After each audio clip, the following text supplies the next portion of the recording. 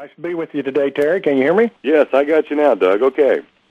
Um, Doug, uh, what we want to do here is I've been talking to people about uh, repairing DC permanent magnet motors, and from the discussions that you and I have had in the past, you and I both know that they're a high maintenance item, and brushes wear out quickly, and bearings go, and magnets come off, and that kind of stuff. So, what I thought I'd do is have you come on the show here and have you like start off with first giving me a little bit of background about WindBlue and how you guys got started.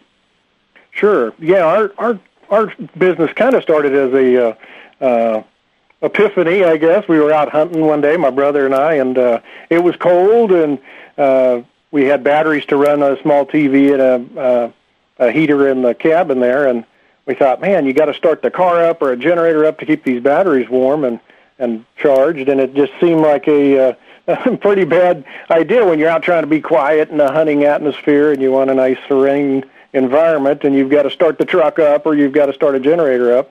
We thought, man, you need some solar panels or wind generator, and it, it's always windy in that area. So we thought, boy, wind generator is the way to go, and we started looking into it and started realizing the cost in a full-size commercial version. We thought we could probably build something that would work, and uh, did some research and he was an auto mechanic and I was into the computer side, so we we put together a, a good team that could could build something that was strong and reliable and, and, so, and something people were comfortable with. I think that's what we found we've heard from our customers is people are comfortable with these car alternators no matter what you call them or whatever.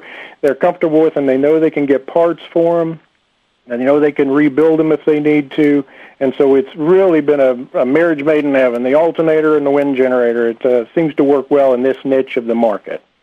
Awesome. So basically i mean it was just a it was a project that ended up working out into research and development to try to find the best solution for your property and then it began sharing with others Right, exactly. We found other people who, you know, had a small cabin they went to only on the weekends and just needed some power there and didn't want to lug up new batteries every weekend or whatever, it it, it makes a perfect uh, a perfect match for that kind of setup.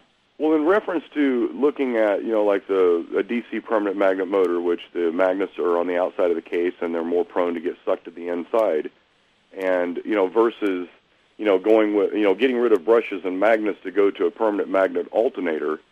Um, I mean, the comparison between the two. I mean, what what could you give me as far as a reference between a brush motor and and your permanent magnet alternator? Well, in terms of output, the size for size, a, a, a permanent magnet alternator and a permanent magnet motor might have very similar output ranges. So you might get the same output out of a, a strong permanent magnet motor that you would out of one of our permanent magnet alternators. It really comes down to maintenance uh, free operation. The, removing those brushes is probably the, the biggest thing. And we've noticed now with the the, the permanent magnet motors are harder to find than they ever were, and and so the cost has kind of driven up the supply and demand, and and so it almost makes more sense to buy one of ours than you know a two hundred dollar permanent magnet motor, a DC motor, uh, just because of the fact that you're going to have to maintain the brushes in that motor versus ours, which is fairly maintenance free. So that's uh, that's one of the biggest advantages of the permanent magnet alternator versus the motor.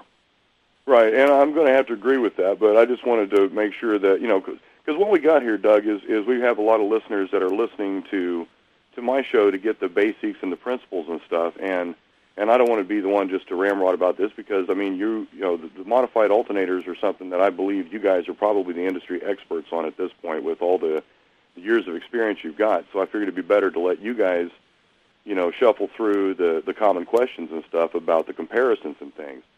And I agree completely. I mean, if you can get into a brushless design, and and they're out of the DC permanent magnet motors that are brushed brushless design, the output is so minimal in comparison to a modified alternator. And that's what I want to try to get across here today is, like you said, the cost of a DC permanent magnet motor. Because I was on eBay looking the other day, and an Ametek 30 sold for 150 bucks. I mean, mm-hmm. I used to sell those things for fifty dollars you know, and it's just it is getting it's ridiculous. So definitely want to look towards the, you know, maybe a modified alternator. Some of the other questions, I mean, as far as like practical uses, I mean, with the product line that you guys currently have, um, what are practical uses that you found for your systems or that your customers are using your systems for? yeah, one of the, the biggest things uh, beyond cabins, uh, weekend cabin, uh, are things like outbuildings on a property, like a, a barn or a chicken house, where uh, the person, the landowner, has called the power company or an electrician and said, "How much would it cost to run power out to this this barn? You know, it's maybe a 100 or 200 yards away from the house, and it's in the thousands of dollars."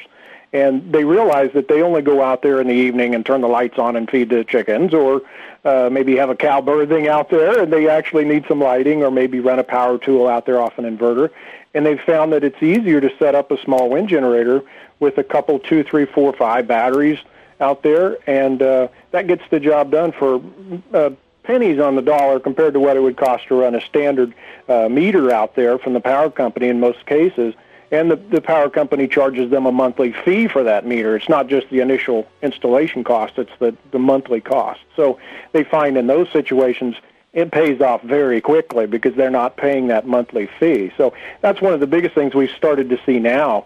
More people are realizing, hey, I can power a small uh, set of lights on the weekends or when I'm out there in the evenings, not pull a lot of power, but uh, it's a lot cheaper than having a meter on the system.